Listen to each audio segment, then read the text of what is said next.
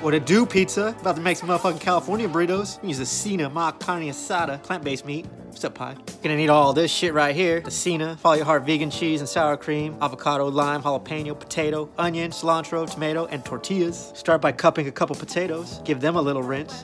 That's what your balls do in your ball sack. Soak that in.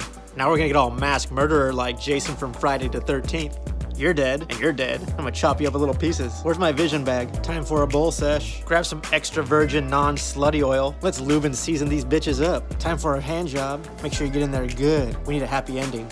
Oh shit! Frontside air, body jar, straight into an all-oop 360, ending his run with a nice backside tail slide. We'll see him later this year at the Vans Triple Crown.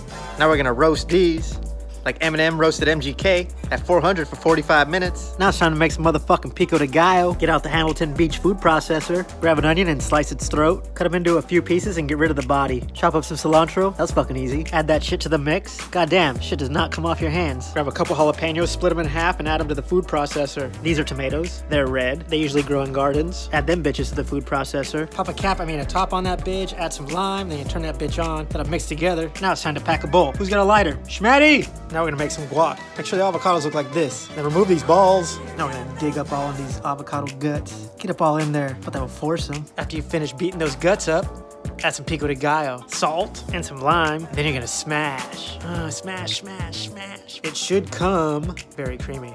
Grab the Cena vegan carne asada and rip that bitch open like it's a condom wrapper and you just got out of prison. Schmatty! Bring some water to a motherfucking boil and add your vegan meat with a condom on. Let that shit boil for 10 minutes.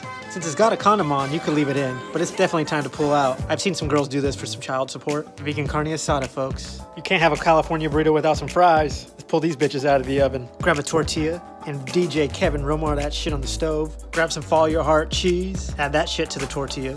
Add the cenas, fries, sour cream, guacamole, pico de gallo, and roll that bitch up like a spliff. Cut it in half and peep the insides. Mmm, I just made a California burrito. You want a bite? Who wants a bite, huh? You want a bite? Just kidding. Oh. Um, um,